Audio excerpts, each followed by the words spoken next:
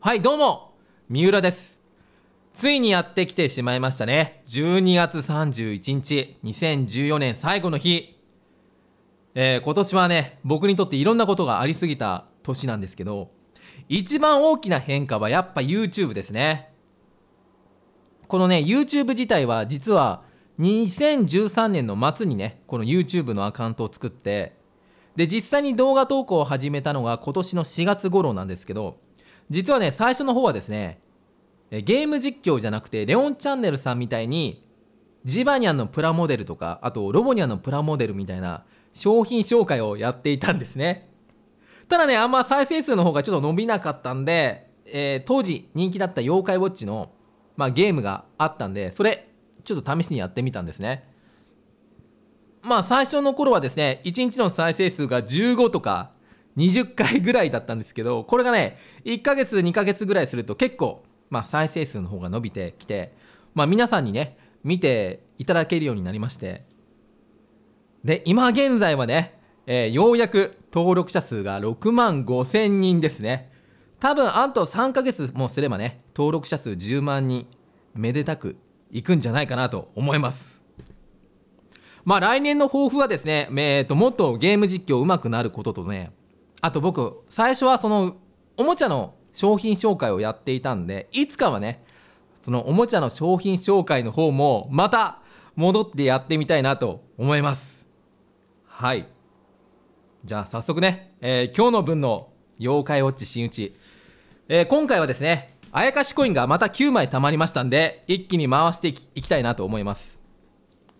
9枚ですね。はい。宝石ニャンに関しては今4体持っているんであと1体でコンプリート回していきましょうか。なんかねコメント欄を見るとうんダブりがあるらしいんですよ。あの宝石ニャン。だからすぐにコンプリートは難しいかもしんない。ダブっちゃうから。赤。お妖怪。あ表変な。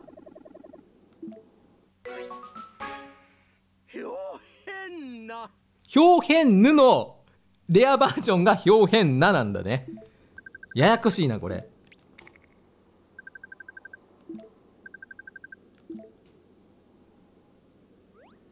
さあもうガンガン回そうガンガン。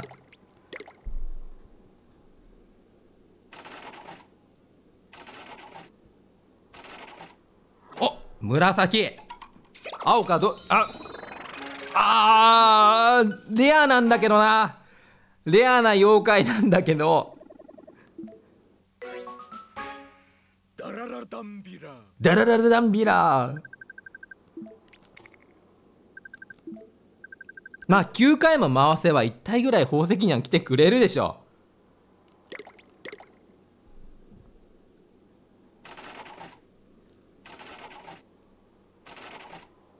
お赤。お妖怪続くな。あ逆上魚うーんなんかダブってる感じだね。逆上魚まあこれねあのレジェンド妖怪の修羅駒を解放するために必要な妖怪なんですけどこれ自力でねあの捕まえようとするとね渚の洞窟なんですよねで結構ね捕まえるの時間かかったんでまだレジェンド妖怪召喚できてない人はねこれ嬉しいのかもしれないけど。まあ最初はこんなもんでしょう。じゃあ次はね、えー、元祖かな？これ本家なんですよ。元祖の方で回そう。はいじゃあ回していきましょう。元祖の宝石ニャンは確かルビーニャン。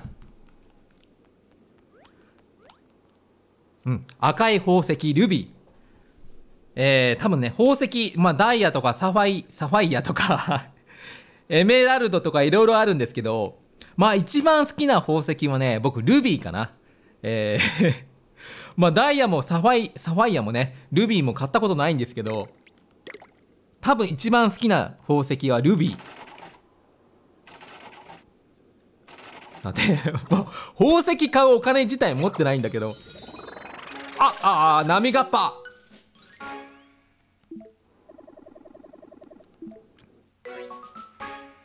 なんか A ランクのレア妖怪ばっかだな。S ランクのレア妖怪って来ないのかな？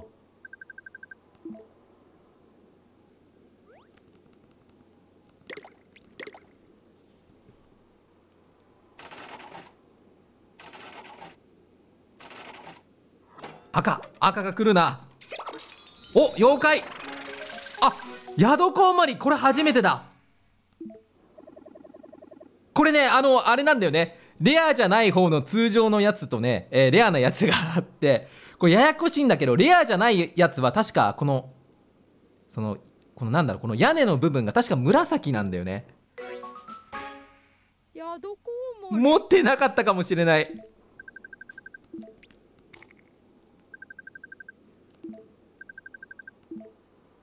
あ持ってたんだ。持ってたんだ。宿コウモリねうん。その前作の妖怪ウォッチの時にね確かに妖魔界にいたんだよね。な苦労してゲットした思い出がありますよ。まあ半年ぐらい前の話なんだけどね。お赤。ずっと赤が。おいいね。妖怪が続く。波ガッパ波ガッパ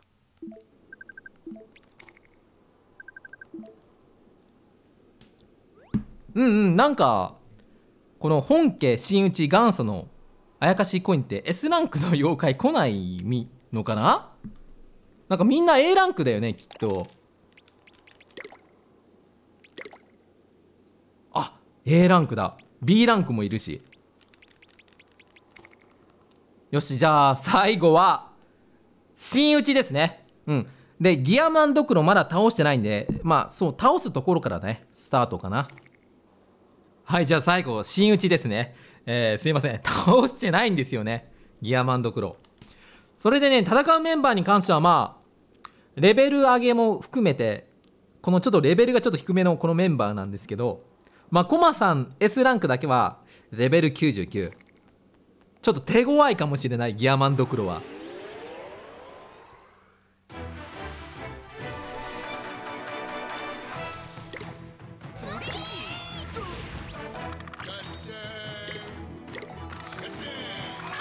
ちょっとこのガシャを回されるとちょっとまずいんでちょっと技出したいんですけどね。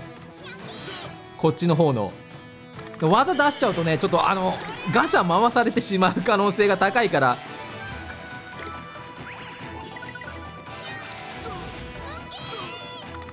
よしさせるか。ちょっとぐらい技使うか。ちょっと待てよ。あちょっともたもたしてるとな。今だ。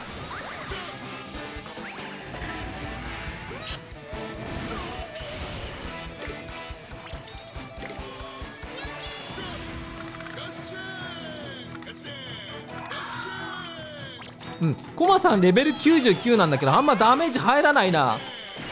あーやばい。コマさんやばい。コマさん。コマさん。ダメ。ギアマンドクロが硬すぎるのかそれとも今のこのメンバーが弱すぎるのか。うわーなんでコマさんばっか狙うんだよ。あああさすらい玉きた。お経験値玉。よし自爆駒行こう。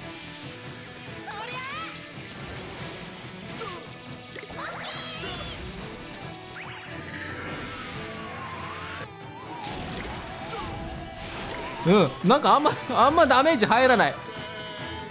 あー自爆間に来た。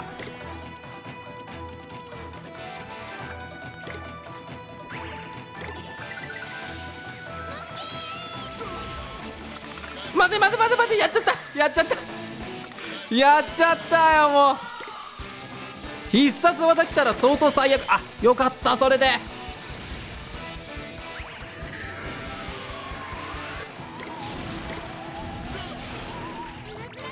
このメンバーでね必殺技食らったら相当えらいことになるんで、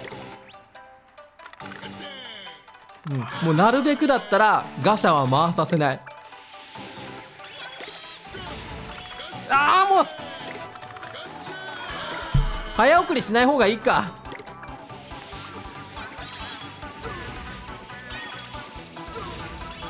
よしいった。間に合った。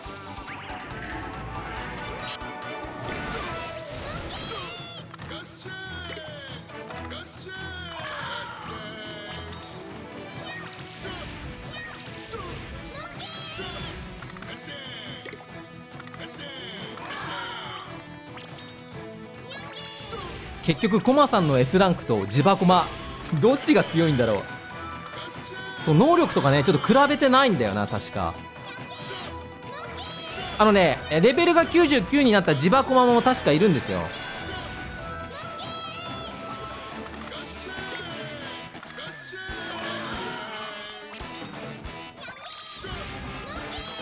よしいった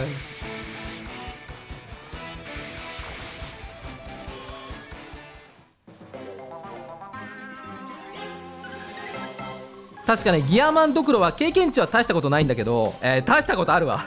3万だ。お金が結構すごいんだよね。ああれ？なんか大したことないなお金も。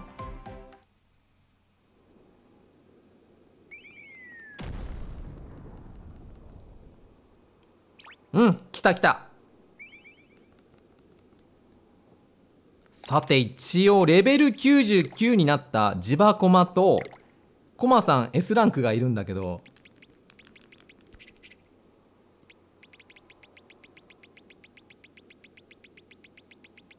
まあちょっと後にするかなこれに関しては。レベル99ジバコマ。2人いるわ。うん。ヒットポイントが350ぐらいで力と揚力がお互いに200ぐらいか。コマさんはどんぐらい？あコマさんはヒットポイント428で揚力が230なんだけど力が116か。うん。でもコマさんの S ランクの方が使いやすいかもしれないね。ヒットポイントも高いしそう。揚力値も高いしね。よしじゃあ回しましょうか。え僕ね宝石ニャンでまだ揃っていないのがサファイニャンなんですよ。で確か真打ちで出てくるのがサファイニャン。なのかな？ん？赤。お妖怪続くな。あエメラルニャンだ。ダブった。ダブったぞ。エメラルニャン。ダブってしまった。まあこれしょうがないのかな？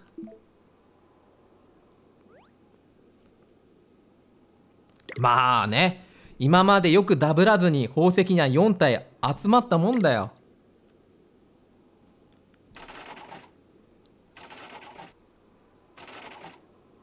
お金だ。お。あ白壁って S ランクだっけ？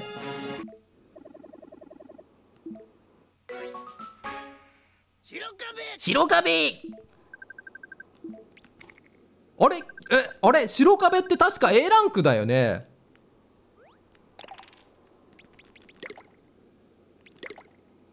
あ A ランクだ。A ランクだよ。うん。まあランダムバトルね、えーまたやることがあったら使えるからいいんじゃないですかね白壁。えーまたやるかどうか分かんないけどね。じゃあ最後。さっき宝石ニャンが出てしまったんでもう出ることはないと思うけど紫。あ超経験値玉。うん今回はあれだね。あの妖怪がたくさん出てきてくれたんでラッキーな方かな。ダブって言ってもね、まあ、やっぱ妖怪出てきてくれた方が嬉しい。えー、っとじゃあ セーラーニャンセーラーニャンレベル上げしようか。OK うん。えっ、と12月の13日にこの「妖怪ウォッチ新打ち」が発売されてまあ2日間ぐらいねこのあやかしコイン回すのをサボってしまったんですけどまあ大体ねまあ7回か8回とか9回とかそこら辺を目安に、えーそれぐらいの回数を回せば宝石ニャンが1体は出てきてくれるっていうまあ確率で出てきてくれてますかね。まあ今回もちょっと9枚回したんで宝石ニャン1体出てきてくれたんですけどまあそんぐらい回せば宝石ニャン1体は出てきてくれるっていうようなね、えー感じですかね。はいということで、えー今回はサファイニャンを出してね宝石ニャンコンプリートしたかったんですけど今回はちょっと失敗でしたね。はいじゃあまたあやかしコインが9枚ぐらい貯まったら回していきたいなと思います。ご視聴ありがとうございました。